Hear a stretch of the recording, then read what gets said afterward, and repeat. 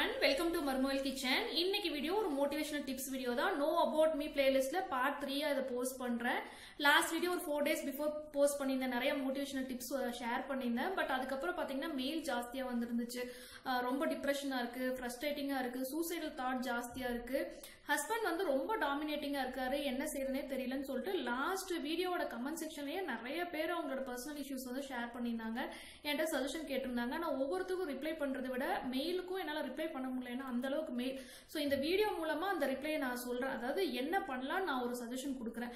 நிறைய மெயில்ஸ்ல நான் வந்து கொஸ்டின்ஸை செக்ரிகேட் பண்ணிட்டேன். ஃபர்ஸ்ட் வந்து டாமினேட்டிங்கா இருக்கிற ஹஸ்பண்ட் அப்புறம் என்ன பண்ணாலும் நெகட்டிவாவே பேசிட்டு இருக்கிற ஹஸ்பண்ட் இன்லாஸ் அப்புறம் எப்படி ஹஸ்பண்ட் மேலே டிபெண்ட் ஆகாமல் யார் மேலேயுமே டிபெண்ட் ஆகாம எப்படி இண்டிபெண்ட்டாக இருக்கிறது அப்படின்னு கேட்டிருந்தீங்க? செல்ஃப் மோட்டிவேட்டிங் டிப்ஸ் இந்த டிப்ரெஷன்லேருந்து வெளியே வரதுக்கான செல்ஃப் மோட்டிவேட்டிங் டிப்ஸ் இந்த நாலு தான் இந்த வீடியோவில் பார்க்க போகிறோம் லாஸ்ட் வீடியோஸ்லேயே கேட்டிருந்தீங்க இந்த மாதிரி சவுண்ட் ரொம்ப கம்மியாக இருக்குது லவுடாக பேசுங்கன்ட்டு. பார்த்தீங்கன்னா மைக் போட்டு தான் பேசுகிறேன் பட் மைக்கோட குவாலிட்டியே அவ்வளோதான் மேக்ஸிமம் சவுண்டே இதுதான். இப்போ என்னால் பர்ச்சேஸ் பண்ணவும் முடியாது லாக்டவுன்னால ஸோ சவுண்ட் மட்டும் கொஞ்சம் அட்ஜஸ்ட் பண்ணிக்கோங்க. வீடியோக்குள்ள போகிறதுக்கு முன்னாடியே சொல்கிறேன் கண்டிப்பாக வீடியோட லென்த் வந்து ஜாஸ்தியாக தான் இருக்கும். உங்களுக்கு வந்து லென்த்தியான வீடியோ பார்க்க பிடிக்கல அப்படின்னா இதோட நீங்க பிட் பண்ணிக்கோங்க. இல்ல இந்த வீடியோ உங்களுக்கு ஏதாவது விதத்துல ஹெல்ப்ஃபுல்லா இருக்கும் என்னோட சஜஷனை கேட்க விரும்புறீங்க அப்படின்னா மட்டும் இந்த வீடியோ கண்டினியூ பண்ணுங்க. இப்போ நம்ம வீடியோக்குள்ள போலாம். இன்ட்ரோடக்ஷனே ரொம்ப சீரியஸா பேசியிருக்கேன் எனக்கே தெரியுது. காரணம் என்னன்னா எனக்கு வந்து மெயில்ஸ் தான். பர்சனல் இஷ்யூவை ஷேர் பண்றது இல்லாம இந்த சூசைடா பண்ணிக்கலான் இருக்கேன் அப்படின்ற அந்த வேர்ட்ஸ் எல்லாம் பார்க்கும்போது எனக்கே கொஞ்சம் டென்ஷன் ஆகுது. ஸோ அதுதான் வந்து தெரியுது நான் பேசுறதுலயே. இந்த வீடியோல வந்து என்ன என் ஃப்ரெண்டோட ரியல் ஸ்டோரி உங்க கூட ஷேர் பண்ணிக்கிறேன். இதுக்கு ரீசன் வந்து நீங்க எல்லாரும் என்ன நினைச்சுக்கிறீங்கன்னா எனக்கு மட்டும் தான் பிரச்சனை நான் மட்டும் தான் கஷ்டப்படுறேன் நீங்க எல்லாரும் நினைச்சுக்கிறீங்க. அப்படி கிடையாது. எல்லாருக்குமே ப்ராப்ளம்ஸ் இருக்கு. ஸோ என் ஃப்ரெண்டோட ட்ரூ ஸ்டோரி உங்க கூட ஷேர் பண்றேன். அவங்களும் டிப்ரெஷன்ல இருந்தாங்க இப்போ இருக்காங்க. அவங்களுக்கும் டாமினேட்டிங் கஷ்ட ஹஸ்பண்ட் தான் கஷ்டப்பட்டுட்டு இருக்காங்க. அவங்களுக்கு நான் என்ன சஜஷன் சொல்லணும் அதே தான் நான் உங்களுக்கும் இந்த வீடியோல சொல்ல போறேன். ஸோ இப்போ வீடியோல வந்து ஃபர்ஸ்ட் என் ஃப்ரெண்டோட ஸ்டோரியை பார்க்கலாம். ஃப்ரெண்டோட நேம் மென்ஷன் பண்ண விரும்பல. அவங்களோட நேட்டிவும் கோயம்புத்தூர் தான். நான் வந்துட்டு ஃபர்ஸ்ட் வாடகை வீட்டில் அப்பார்ட்மெண்ட்ல இருந்தப்போ அவங்களும் அதே அப்பார்ட்மெண்ட்ல வாடகைக்கு இருந்தாங்க. ஸோ இப்போ அவங்களுக்கு மேரேஜ் ஆகி ஒரு எயிட் இயர்ஸ் ஆச்சு. ரெண்டு பெண் குழந்தைங்க இருக்கு. ஃபர்ஸ்ட் பேபி வந்து ஃபைவ் இயர்ஸ் ஆகுது. அவ வந்து இப்போ யூகேஜி முடிச்சுட்டு இப்போ ஃபர்ஸ்ட் ஸ்டாண்டர்ட் போக போறா. செகண்ட் பேபி வந்துட்டு இனிமே தான் எல்கேஜி ஜாயின் பண்ண போறா. இப்போதான் மூணு வயசு ரெண்டு மாசம் சம்திங் ஆகுது. ஸோ இனிமே தான் அவளும் ஸ்கூலுக்கு போக போறா. இவங்க வந்து பிஇ கம்ப்ளீட் பண்ணியிருக்காங்க ஐ திங்க் இசின்னு நினைக்கிறேன். அவங்க ஹஸ்பண்ட் வந்துட்டு பிஇ ஐடியில் ஒர்க் பண்ணிட்டு இருக்காரு அவங்களோட நேட்டிவ் ஹஸ்பண்ட் ஒய்ஃப் ரெண்டு பேர்த்தோட நேட்டிவ்மே கோயம்புத்தூர் தான். So it is an arrange marriage so marriage ஆகி வராங்க. ஹஸ்பண்ட் வந்து டாமினேட்டிங் தான். டாமினேட்டிங்னா எப்படின்னா நான் நான் பண்ணுறது பண்றது தான் கரெக்டு அப்படிங்கிறது ஒரு டாமினேட்டிங் அது இல்லாமல் பார்த்தீங்கன்னா ஹஸ்பண்டுக்கு வந்து நல்ல சேலரி இப்போ உங்களுக்கு பெங்களூர்ல ஐடி ஃபீல்டில் அப்படின்னா இப்போ எயிட் இயர்ஸ்க்கு அப்புறமா என்ன ஒரு சேலரி இருக்கும்னு பார்த்தீங்கன்னா ஃபர்ஸ்ட் வந்து அவங்க ஹஸ்பண்டோட சேலரி என்னன்னே அவங்களுக்கு தெரியாது. ஃபர்ஸ்ட் அது ஹஸ்பண்ட் சொல்லவே இல்லை. பட் சம்திங் லைக் லேப்டாப்ல வந்து ஒரு மெயில் இருந்திருக்கு. அதில் பார்க்கும்போது அவரோட டேக் ஹோம் சேலரியே கிட்டத்தட்ட டூ லேக்ஸ் பர் மந்த் இப்போ ஸோ இந்த மாதிரி ஒரு சுச்சுவேஷனில் அவர் பார்த்தீங்கன்னா ஒரு ஹண்ட்ரட் ருபீஸ்னால ஹண்ட்ரட் ருபீஸ் கூட ஒய்ஃப் கொடுக்க மாட்டாரு ஃபர்ஸ்ட் விஷயம். ரெண்டாவது வந்து சுத்தமாக வந்து ஃபேமிலி கேர் பண்ண மாட்டாரு.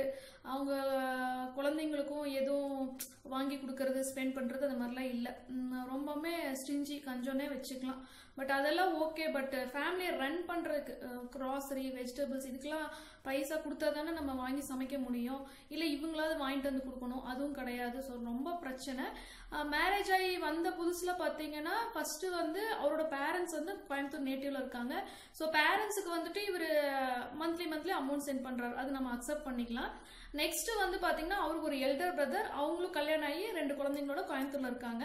ஸோ இவர் வந்து அவங்க ஃபேமிலிக்கும் பணம் அனுப்பிச்சிட்டு இருக்கார். அவங்க எல்டர் பிரதர் ஜாப் எதுவும் போறதுல வீட்டில் தான் இருக்கார்.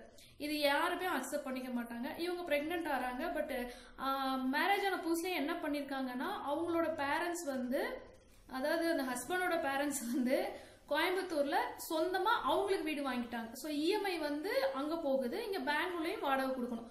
ஸோ கோயம்புத்தூர்ல இருக்கிற நேட்டிவ் வீட்டுக்கு வந்து வாடகை கொடுத்துட்டு பெங்களூர்ல இஎம்ஐயும் கட்டி மிச்ச அமௌண்ட்டை வச்சு ரன் பண்ணுன்றப்ப ஃபினான்ஷியல் கிரைசிஸ் ஸோ இவங்க பிரெக்னென்ட் ஆறாங்க. பிரெக்னென்ட் டைம்ல பயங்கர ஃபினான்ஷியல் கிரைசிஸ் ஹெல்த்தியான ஃபுட் இல்லை. அதில் அவங்களுக்கு வந்து ஃபர்ஸ்ட் பேபி ஹெல்த்தியா இல்லை அப்படின்றனால அபார்ட் ஆகுது. இதை விட டிப்ரெஷன் சான்ஸே இல்லை. பட் என்னன்னா கொஞ்ச நாள் ஆக ஆக புரிஞ்சுப்பாங்க. நமக்குன்னு ஒரு குழந்தையானா எல்லாம் சரியாகும் அப்படின்ற தாட்டு தான். எல்லா பேரண்ட்ஸுமே இப்போ அவங்க என் ஃப்ரெண்டோட பேரண்ட்ஸுமே குழந்தையானா சரியாயிடும் அப்படின்னு தான் சொல்கிறாங்க ஸோ அதை வச்சு தான் நம்ம ஃபேமிலியை ரன் பண்ணுறோம் குழந்தையும் பிறக்குது. டெலிவரிக்கு ஊருக்கு போகிறாங்க ரிட்டர்ன் வராங்க. பெருசாக ஒன்றும் சேஞ்ச் இல்லை. சேம் அப்படியே தான் போயிட்டு இருக்குது அமௌண்ட் கொஞ்சம் கொடுத்துட்டு இருக்காரு அப்புறம் கொஞ்சம் கொடுக்கல. இப்படியே போகுது. செகண்ட் பேபியும் ஆயிடுச்சு. ஸோ இப்போ என்னன்னா இப்போ ரெண்டு பேபி ஆயிடுச்சு. ரெண்டுமே பெண் குழந்தைங்க. இந்த ரெண்டு பெண் குழந்தைங்களையும் வச்சுக்கிட்டு இன்னுமே வந்து ஒரு சேஞ்சுமே இல்லை. டாமினேட்டிங் கேரக்டர் நம்ம பேச பேச மாறிடுவாரு கொஞ்சம் கொஞ்சமா திருந்திடுவாருன்னு தான் எல்லாருமே நினைச்சிட்டு இருக்கோம். இப்போ எயிட் இயர்ஸ் வரைக்கும் still there is no change சுத்தமா அமௌண்ட் எதுவுமே கொடுக்கறது இல்ல குழந்தைங்களுக்கு ஒரு ட்ரெஸ்ஸோ ஒரு ஃபுட்டு ஸ்நாக்ஸ் எதுவுமே வாங்கி கொடுக்கறது இல்ல full and full support only for his parents அப்புறம் அவரோட எல்டர் பிரதர் ஸோ நான் வந்து அவங்க கிட்ட இருந்து பேசி தெரிஞ்சுக்கிட்ட விஷயம் என்னன்னா ஏன் அவர் இப்படி இருக்காரு அப்படின்றது வந்து ஃபர்ஸ்ட் பார்க்கலாம். ஹஸ்பண்டை வந்து பிஇ ஐடி படிக்க வச்சிருக்காங்க பேரண்ட்ஸ் பட் uh, அவரோட born and brought up story பார்த்தீங்கன்னா அவங்க வீட்டில் அவங்க ஃபாதர் வந்து இப்படிதான் இருப்பார். Uh, அவரு தான் எல்லாமே அவர் வச்சது தான் சட்டம். அவங்க மதர் வந்து எடுத்து பேசவே கூடாது. அப்படிதான் வந்து இவர் பிறந்ததுலேருந்து பார்த்துக்கிட்டே வராரு. ஸோ அதாவது வந்து ஒய்ஃப்னா எடுத்து பேசக்கூடாது பேசவே கூடாது. அந்த மாதிரி ஒரு பேரண்ட்ஸ்க்கு வந்து uh, பிறந்து வளர்ந்துருக்கார். ஸோ முப்பத்தி இரண்டு வயது வரைக்கும். இந்த மாதிரியே ஒரு சுச்சுவேஷன் பார்த்து வளர்ந்தனால அதே டாமினேட்டிங் கேரக்டரோட பிளட்லயே அது இருக்கு. அது ஒண்ணுமே பண்ண முடியாது. Um, மேரேஜ் பண்ணிக்கிறாங்க. ஸோ நமக்கு வர ஒய்ஃபும் ஏத்து பேசக்கூடாது. புரிஞ்சுக்கல. அந்த ஜென்ரேஷன் வேற இப்ப இருக்கிற ஜென்ரேஷன் வேற. அவங்க அம்மா வந்து படிக்காதவங்க அவங்க அப்பா என்ன சொன்னாலும் கேட்பாங்க. வேற வழியில ஃபேட் அதே வந்து இப்ப இருக்கிற ஜென்ரேஷன் பொண்ணுங்கிட்டையும் எக்ஸ்பெக்ட் பண்றது uh, எப்படி வந்து கரெக்டா இருக்கும்னு அவர் புரிஞ்சுக்கல. ஸோ இப்போ என்னன்னா நான் நான் பண்றதா எல்லாமே. நான் செய்யறதா கரெக்டாக ஏன்னா நான் சம்பாதிக்கிறேன். நான் சொல்றது தான் நான் காசு தருவேன் தரமாட்டேன் அது என் இஷ்டம் இப்படி. ஸோ பேசாமே இருந்திருப்பாங்க. எட்டு வருஷமா பேசிக்கிட்டே இருக்காங்க. புரிய வைக்கிறாங்க. எங்க நமக்கும் லைஃப் இருக்கு. நம்ம குழந்தைங்களோட லைஃப்பை பார்க்கணும் சேவ் பண்ணணும். எதுவுமே நோ சேஞ்ச் அதே மாதிரி என் ஃப்ரெண்டோட பேரண்ட்ஸும் வந்து பேசுறாங்க. ஒரு எஃபெக்ட்டுமே கிடையாது. அவங்களோட ரிலேட்டிவ்ஸ் அவங்க அப்பா அம்மா பிரதர் எல்லாம் கூப்பிட்டு பேச முடியாது. ஏன்னா அவங்க தான் வந்து மந்த்லி மந்த்லி அமௌண்ட் வாங்கிக்கிறாங்க. ஸோ அவங்ககிட்ட போய் பேசல பிரயோஜனமே இல்லை. அவங்க தயாராகவும் இல்லை ஃபர்ஸ்ட் பேசுறதுக்கெல்லாம். அவங்க சைடில் மற்ற ரிலேட்டிவ்ஸை கூப்பிட்டு இந்த பக்கம் ஒரு நாலு ரிலேட்டிவ் இந்த பக்கம் ஒரு நாலு ரிலேட்டிவ்லாம் வச்சு பேசி இவர் என்னன்றாரு? ஓகே ஓகே நான் இனிமேல் அமௌண்ட் கொடுத்துட்றேன் இனிமேல் எந்த பிரச்சனையெல்லாம் பே- பார்த்துக்கிறேன்ட்டு அப்போதைக்கு யாராவது வந்து பேசினா சரின்றாரு. பட் ஒன்ஸ் வீட்டுக்குள்ள வந்ததுக்கு அப்புறம் ஒரு டூ மந்த்ஸ் அமௌண்ட் கொடுக்கறது மறுபடியும் அமௌண்ட் கொடுக்கறது இல்ல. எயிட் இயர்ஸா சுத்தமா பிரச்சனையே என்னன்னா பினான்சியலா ஃபர்ஸ்ட் அவங்க வந்து அவங்க ஹஸ்பண்ட் மேல டிபெண்ட் ஆயிருக்காங்க. அதான் ஃபர்ஸ்ட் ப்ராப்ளம் ஸோ இந்த பொண்ணுனால சம்பாதிக்க முடியாது. வெளியே போனாலும் இந்த பொண்ணால ஒன்றும் பண்ண முடியாது. நாம வச்சதான் சட்டோன்ற மென்டாலிட்டி ஜாஸ்தியா இருக்கு. என்ன பண்ணிட முடியும்? நம்மளை விட்டு எங்க போயிட முடியும்? போனாலும் என்ன பண்ண முடியும்? சிங்கிள் பேரண்டா இருக்கிறதுக்கு டிசைட் பண்ணணும் அப்படின்னா ஃபஸ்ட்டு வந்து கிட்ஸு பெரிய பேரியர் அது ரெண்டுமே பெண் குழந்தைங்க. ஸோ ஹஸ்பண்டை நம்பி தான் நம்ம குழந்தை பெற்றுக்கிறோம் ஹஸ்பண்ட் வந்து ரெஸ்பான்சிபிள் ஸோ நம்ம குழந்தைங்களோட சிங்கிள் பேரண்டாக போகிறோம் அப்படின்னா அந்த ஹஸ்பண்ட் வந்து அந்த ரெஸ்பான்சிபிலிட்டிலேருந்து எஸ்கேப் ஆயிடுறாரு. வேற ஒரு கல்யாணமும் பண்ணிட்டு அவர் ஜாலியாக இருப்பார். இங்கே வந்து இந்த ரெண்டு குழந்தைங்களை வச்சுட்டு இவங்க கஷ்டப்பட்டு சிங்கிள் பேரண்டாக சர்வைவ் ஆகணும். தேவையே கிடையாது. அவங்க பி பண்ணியிருக்காங்க பட் அவங்களுக்கு ஒர்க் எக்ஸ்பீரியன்ஸ் இல்லை. ஃபோர்த் இயர் முடிச்சோன்னே மேரேஜ் ஆயிடுச்சு. எக்ஸ்பீரியன்ஸே இல்லை சுத்தமாக பட் எல்லாருக்குமே இப்போ ஒரு டிகிரி மாதிரிலாம் மாஸ்டர் டிகிரி வச்சிருக்கோம். இன்னொன்று என் ஃப்ரெண்டோட பேரண்ட்ஸ் சப்போர்ட்டிவா இல்லை. நீ வந்து சிங்கிள் பேரண்ட்டாக வந்தீங்கன்னா சப்போர்ட் பண்ண மாட்டேன்னு சொல்லிட்டாங்க ஸோ முடியாது. இந்த ஹஸ்பண்ட் கூட தான் வாழ்ந்தாகணும். இப்போ என்ன பண்ணலாம்? ஸோ இந்த ஸ்டோரி கூட நான் ஒரு சஜஷன் கொடுக்குறேன். உங்கள் ஸ்டோரி இது கூட கண்டிப்பாக மேட்ச் ஆகும். ஹஸ்பண்ட் டாமினேட்டிங் ரொம்ப நெகட்டிவ் குழந்தைய அடிச்சு சிங்கிள் பேரண்டா இருக்க முடியாது. இவர் கூட தான் வாழ்ந்து ஆகணும் அப்படின்ற பட்சத்துல என்ன பண்ணலாம்? ஃபர்ஸ்ட் விஷயம் ஃபினான்ஷியலா டிபெண்ட் ஆகக்கூடாது. கண்டிப்பா வேலைக்கு போகணும். வேற வழியே இல்லை. இந்த மாதிரி சுச்சுவேஷன் இருக்கு இல்ல எப்படினாலும் கண்டிப்பா வேலைக்கு போகணும். எல்லாருமே படிச்சிருக்கோம். எதுக்கு அந்த படிப்பை வேஸ்ட் பண்ணிட்டு வீட்டில் உட்காந்துருக்கணும் வேலைக்கு போகணும். இவ்வளவு நாள் வேலைக்கு போகாததுக்கு ரீசன் வந்து அந்த செகண்ட் பேபிக்கு வந்துட்டு ஸ்கூல் போகல. இப்பதான் த்ரீ இயர்ஸ் ஆகுது. இந்த ஜூன்ல தான் ஜாயின் பண்ண போறோம் ஸோ இப்போதைக்கு கண்டிப்பா வேலைக்கு போகணும்னு டிசைட் பண்ணிட்டாங்க. நான் சொல்லிட்டேன் கண்டிப்பா வேலைக்கு போகணும். எங்க வேலைக்கு போகலான்னு நான் ஒரு சஜஷன் சொல்றேன். இப்போ வந்து இப்போ நான் பெங்களூர்ல இருக்கேன்னா தெருக்கு பத்து ஸ்கூல் இருக்கு. நார்மலா பெரிய ஸ்கூல்ல பிஎட் கேட்பாங்க. அதே வந்து சின்ன ஸ்கூல் அப்புறம் வந்து பேபி சிட்டிங் அந்த மாதிரி டே கேர் சென்டர்லலாம் வந்து நிறைய ஆப்பர்ச்சுனிட்டிஸ் இருக்கு. கண்டிப்பா அப்ளை பண்ண எடுத்துக்கிறாங்க. இல்லைன்னா மாண்டிசரி ட்ரைனிங் சர்டிபிகேட் கேட்கறாங்க. எல்லா- எல்லா பக்கம் இப்போ மாண்டிசரி ட்ரைனிங் கொடுக்குறாங்க. ஒரு சிக்ஸ் மந்த்ஸ் கோர்ஸ் போனா அந்த சர்டிபிகேட் இருந்துச்சுன்னா ஷூரா வேலை கிடைக்குது. பெங்களூர் மாதிரி ஒரு ஊர்ல வந்துட்டு ஜாப் ஆப்பர்ச்சுனிட்டிக்கெல்லாம் வந்து இதே கிடையாது. கண்டிப்பாக ஜாப் கிடைக்கும். ஸோ அவங்க தெளிவாக இருக்காங்க. கண்டிப்பாக ஜாப் அப்ளை பண்ண அப்ளை பண்ணிட்டாங்க. இப்போ இந்த வெக்கேஷனுக்கு முன்னாடியே அப்ளை பண்ணிட்டாங்க. ஸ்கூல் ஓப்பன் ஆன உடனே வந்து பார்க்க சொல்லியிருக்காங்க. வேலைக்கு போகலாம் இதில் ஒரு அட்வான்டேஜ் நான் சொல்லிடுறேன். உங்களுக்கும் குழந்தை இருக்குது வேலைக்கு போகிறதுல கஷ்டம் இருக்குன்னா இந்த மாதிரி வந்து டே கேருக்குலாம் போகும்போது உங்களுக்கு மார்னிங் டு ஆஃப்டர்நூன் ஜாப் முடிஞ்சிடும் இஃப் சப்போஸ் ஈவினிங் வரைக்கும் ஒரு த்ரீ த்ரீ தேர்ட்டி வரைக்கும் இருக்கணும் அப்படின்னா கூட உங்களோட குழந்தைங்களையும் அந்த டே கேர்லயே வச்சு பார்த்துக்கலாம். இது ஒரு பெரிய ஒரு நல்ல விஷயம். குழந்தைங்களும் கூடவே இருக்கும் வேலைக்கும் போய்க்கலாம். இங்கெல்லாம் வந்து பாத்தீங்கன்னா டேக் ஹோமே ஒரு டென் தௌசண்ட் கொடுக்குறாங்க. ஆஃப் டேக்கே டேக் ஹோம்ல டென் தௌசண்ட் கொடுக்குறாங்க. ஃபர்ஸ்ட் வந்து ஃபினான்ஷியலாக டிபெண்ட் ஆகக்கூடாது. ஃபினான்ஷியலாக வந்து நம்ம ஹஸ்பண்டை காசுக்கு கை நீட்டுற வரைக்கும் அவங்க நாமினேட் பண்ண தான் செய்வாங்க. ஃபர்ஸ்ட் ஃபினான்ஷியல் இண்டிபெண்டன்சி நம்ம சம்பாதிக்க ஆரம்பிச்சிடும் சம்பாதிக்க ஆரம்பிச்சதுக்கு அப்புறமா அவங்க டாமினேட்டிங்காக தான் இருப்பாங்க. அந்த அமௌண்ட்டை என்கிட்ட கொடுன்னு கேட்கறக்கும் சான்ஸ் இருக்கு. அதுக்கப்புறமா வந்து எல்லா விஷயத்துக்குமே ஹஸ்பண்ட் எதிர்பார்க்கறது. ஒரு கரண்ட் பில் கட்டுறதுலேருந்து வெஜிடபிள்ஸ் வாங்கிட்டு வரதுலேருந்து கிராசரி வாங்கிட்டு வரதுலேருந்து எல்லாத்துக்குமே அவர் மேலே டிபெண்ட் ஆகுது ஏன்னா எனக்கு ஒன்றுமே தெரியாது. நான் வீட்டுக்குள்ளேயே இருக்கேன். எனக்கு பெருசாக எதுவுமே தெரியாது அப்படிங்கிறதெல்லாம் அது ஒத்து வராது. ஏன் தெரியாது? கத்துக்க வேண்டியதானே இப்பதானே கூகுள்லயும் எல்லாம் இருக்கு யூடியூப்ல எல்லாம் வருது. எப்படி உட்கார்ந்த இடத்துல இபி பில் கட்டுறது? இப்ப நான் எல்லாமே பண்றேன் EB bill DTH recharge phone recharge எல்லாமே ஆப்லே பண்ணிடலாம். ஃப்ளாட்டோட வருஷத்துக்கு கட்ட வேண்டிய வீட்டு வரி எல்லாமே அப்ளை பண்ணிடலாம். உங்களுக்கு என்ன சொல்லுங்க நான் தனியாக ஒரு வீடியோ போஸ்ட் பண்றேன். ஏன்னா பொண்ணுங்க இது எல்லாமே தெரிஞ்சுக்கணும். எல்லாத்துக்குமே ஹஸ்பண்ட் மேல டிபெண்ட் ஆயிட்டு இருந்தா அவங்க டாமினேட்டிங்காக தான் இருப்பாங்க. நமக்கு தெரியல அப்படின்னு ஒரு விஷயம் கூட இருக்கக்கூடாது. நம்ம லைஃப்ல நமக்கு ரிக்வயர்டா இருக்கிற எல்லா விஷயமும் தெரிஞ்சுக்கணும். தெரியலையா? கத்துக்கணும். யார்ட்டையா கேட்டு கத்துக்கலாம் இல்லைன்னா ப்ரௌஸ் பண்ணி கத்துக்கலாம். ஸோ நமக்கு வந்து விஷயம் தெரியும் போது தான் நம்ம இண்டிபெண்ட்டாக இருக்க முடியும். ஒரு விஷயமே தெரியாத வரைக்கும் நம்ம யார் மேலேயும் டிபெண்ட் ஆகிட்டே தான் இருப்போம். ஃபர்ஸ்ட் ஃபினான்ஷியலாக சம்பாதிக்கணும் அது ஒன்று செகண்ட் வந்து எல்லா விஷயம் கற்றுக்கணும் நம்ம லைஃப்பை லீட் பண்ணுறதுக்கு தேவையான அத்தனை விஷயங்களையும் கற்றுக்கணும் இண்டிபெண்ட்டாக இருக்கணும் அப்படின்னா மெயின் வந்து நம்ம சம்பாதிக்கணும்.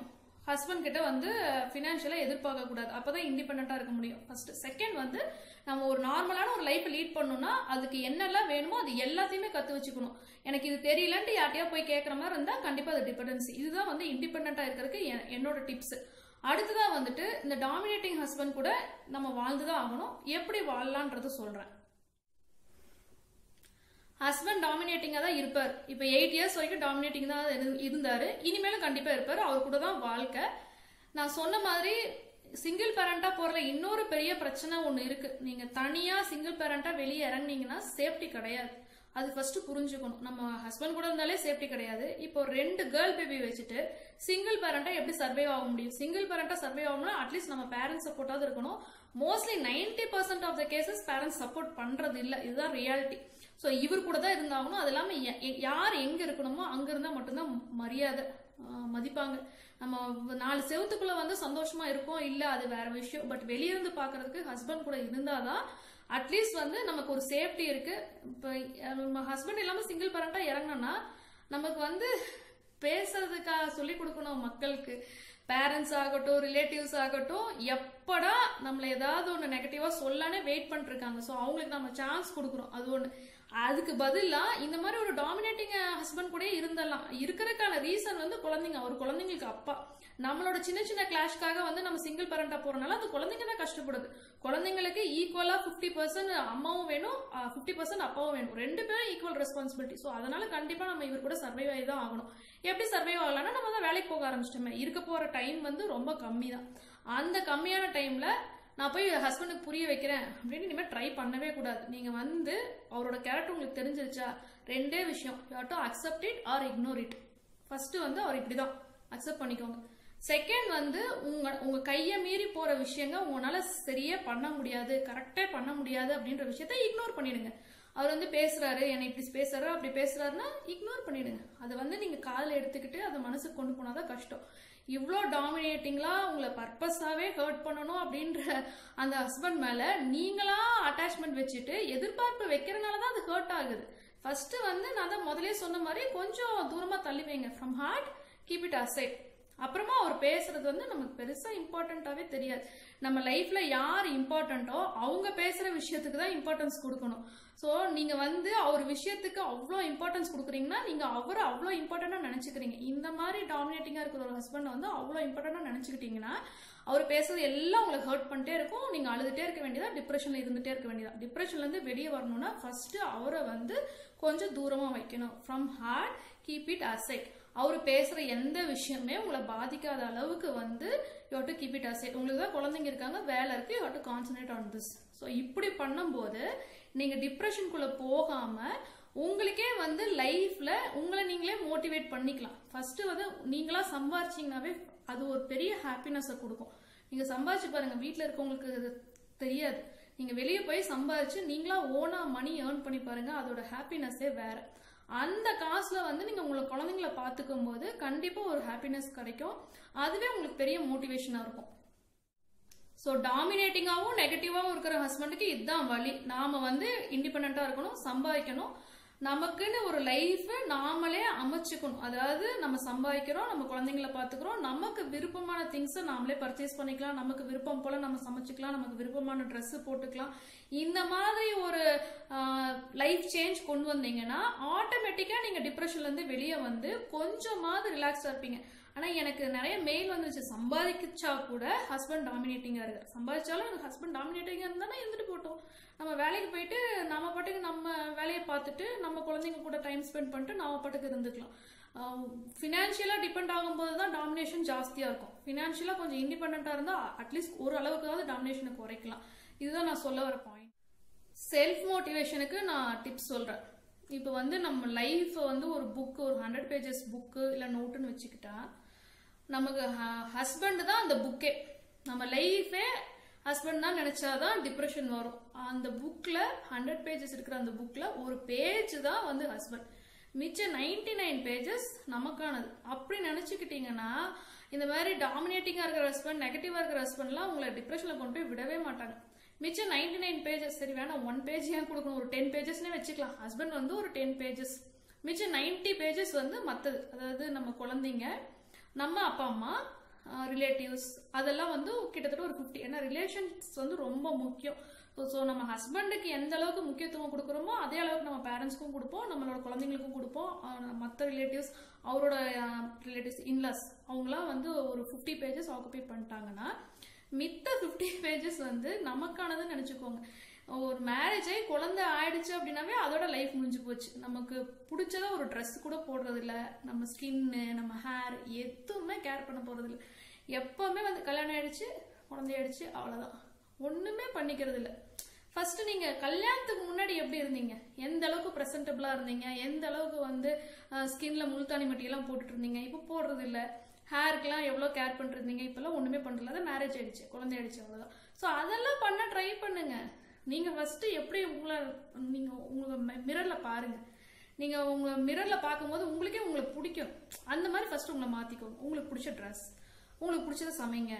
உங்களுக்கு வந்து ஒன்றுமே பண்ண பிடிக்கலையா? பேசாமல் போய் படுத்து தூங்கணுமா? படுத்து தூங்கிடுங்க. படம் பார்க்கணுமா? படம் பாருங்க. அந்த 50 பேஜஸ் வந்து நம்மளோட லைஃப் நம்ம லைஃப்ல வந்து நாம யாருக்கு எவ்வளோ இடம் கொடுக்குறோன்றதை பொறுத்து அந்த பேஜஸ் வந்து ஃபில் ஆயிட்டே இருக்கும். ஸோ அவ்வளோ இம்பார்ட்டன்ஸ் யாருக்கும் கொடுக்காதீங்க. உங்களுக்கு ரொம்ப க்ளோஸான ஒரு ஃப்ரெண்டு உங்களோட வெல் விஷர் அப்படின்னா அவங்களெல்லாம் அந்த புக்ல இடம் கொடுங்க. கான்செப்ட் வந்து இதுதான். நம்ம லைஃப்ல யாருக்கு எவ்வளோ இம்பார்ட்டன்ஸ் கொடுக்கணும்? நம்ம மேல உண்மையாவே கேரிங்கா வெல்விஷரா இருக்கவங்களுக்கு நிறைய இம்பார்ட்டன்ஸ் கொடுக்கணும். அவங்க சொல்ற கருத்துக்களை எடுத்துக்கணும் சஜஷனை கேட்கணும். உங்களை வேணும்னே ஹர்ட் பண்றாங்க. உங்களை அழுக வைக்கணும்னு பேசுறாங்க அப்படின்றவங்களுக்கு அந்த புக்ல இடமே இல்லை. பேஜே கிடையாது. அப்போ அவங்க பேசுறது எதுவுமே ஹர்ட் ஆகல இன்னொரு விஷயம் அவங்க உங்களை ஹர்ட் பண்றதுக்காகவே பேசுறாங்க. நீங்க ஹர்ட் ஆயிட்டீங்க அப்படின்னா அவங்க வின் பண்ணிட்டாங்க. ஸோ உங்களுக்கு ஹர்ட் ஆதான் இதை நீங்க திங்க் பண்ணிக்கணும். நம்மளை ஹர்ட் பண்றதுக்காகவே ஒருத்தங்க பேசுறாங்க அப்படின்னா நம்ம ஹர்ட் ஆகவே கூடாது. அவங்கள வின் பண்ணவே கூடாது. இது ஒரு டெக்னிக் ஸோ வேணும்னே அழுக வைக்கணும் அப்படின்றக்காகவே அவங்க பேசுறாங்க. நீங்க அழுதுட்டீங்கன்னா அவங்க வின் பண்ணிடுவாங்க. அட்லீஸ்ட் அவங்க முன்னாடியாவது அழுகாதீங்க. இதெல்லாம் வந்து டெக்னிக்கா யூஸ் பண்ணுங்க. இ- இப்படி யோசிச்சீங்கன்னா நீங்க கண்டிப்பா ஹர்ட் ஆக மாட்டீங்க. வீடியோல பாயிண்ட்ஸ் டு வைண்ட் அப் மாதிரி மறுபடியும் சொல்லிடுறேன். கண்டிப்பா வேலைக்கு போங்க. ஃபினான்ஷியலாக டிபெண்ட் ஆகாதீங்க. உங்கள் லைஃபுக்குன்னு இருக்கிற புக்கில் உங்களுக்கு யாரை பிடிக்குமோ அவங்களுக்கு மட்டும் பேஜஸ் கொடுங்க. உங்களுக்கு பிடிக்காது ஐ மீன் உங்களை ஹர்ட் பண்ணுறாங்க உங்களை அழுக வைக்கிறதுக்குன்னே எல்லாம் பேசுகிறாங்க இன்லாஸ் எல்லாரையுமே தான் சொல்கிறேன் அவங்களுக்கெல்லாம் அந்த புக்கில் இடமே கொடுக்காதீங்க. அவங்கள தேவையே இல்லை. கீப் இட் அவுட் அதாவது இந்த புக்கை விட்டு வெளியே வைங்க. லை நம்ம லைஃப்ல இருந்து கொஞ்சம் தள்ளி வைங்க. அவங்க என்ன பேசினாலும் நமக்கு ஒன்றும் பெருசாக ஃபீல் ஒரே வீட்டில் இருந்தால் கூட நம்ம வந்து நமக்கு நம்ம லைஃப்ல அவங்களுக்கு இடம் கொடுத்தாதான் அவங்க பேசுறது நமக்கு ஹர்ட் ஆகும். அவங்களே ஹர்ட்டா பண்ணணுன்றக்காக தான் பேசுறாங்க. எதுக்கு அவங்களுக்கு அவ்வளவு இடமும் கொடுத்துட்டு அவங்க பேசுறது வந்து நமக்கு ஹர்ட்டிங்கா இருக்குன்னு நம்ம டிப்ரெஷன்ல போயிட்டு ஸோ அவங்களையெல்லாம் தூரமா வச்சுட்டு யார் பேசுறது நமக்கு சந்தோஷத்தை கொடுக்குதோ யார் கூட இருந்தா நமக்கு வந்து செல்ஃப் மோட்டிவேட்டிங்கா இருக்கா யா எந்த ஃப்ரெண்டு வந்து உண்மையாவே நமக்கு கேரிங்கா இருக்காங்க அப்படின்ற அவங்களோட சஜஷன்லாம் எடுத்துட்டு அவங்களுக்கு வந்து உங்க லைஃப்ல இடம் கொடுத்தீங்கன்னா நீங்களே ஈஸியா டிப்ரெஷன்ல இருந்து வெளியே வந்துட்டு நீங்களே மோட்டிவேட்டிங்கா இந்த மாதிரி இன்ஸ்பைரிங்கா இன்னொருத்தவங்களுக்கு பேசுகிறீங்க இதுதான் விஷயம். ஸோ இந்த motivational tips part three know about me part three video அது. பார்க்காதவங்களுக்கு part one part two video link கீழே டிஸ்கிரிப்ஷன் பாக்ஸில் கொடுக்குறேன். வீடியோ பிடிச்சிருக்குன்னு நினைக்கிறேன். வீடியோ பிடிச்சிருந்தா வீடியோக்கு லைக் பண்ணுங்க. நீங்க என் சேனல் ஃபர்ஸ்ட் டைம் பாக்குறீங்க இந்த வீடியோ உங்களுக்கு பிடிச்சிருக்கு அப்படின்னா கண்டிப்பா சேனலுக்கு சப்ஸ்கிரைப் பண்ணுங்க. இன்னும் லேசினஸ்க்குலாம் டிப்ஸ் கேட்டிருந்தீங்க அதெல்லாம் நான் பார்ட் ஃபோரா போஸ்ட் பண்றேன். இந்த வீடியோ வந்து உங்க ஃப்ரெண்ட்ஸ் யாருக்காவது யூஸ் ஆகும்னு நினைச்சீங்கன்னா இந்த வீடியோ லிங்கை உங்க ஃப்ரெண்ட்ஸ் கூடயும் ஷேர் பண்ணுங்க. தேங்க்யூ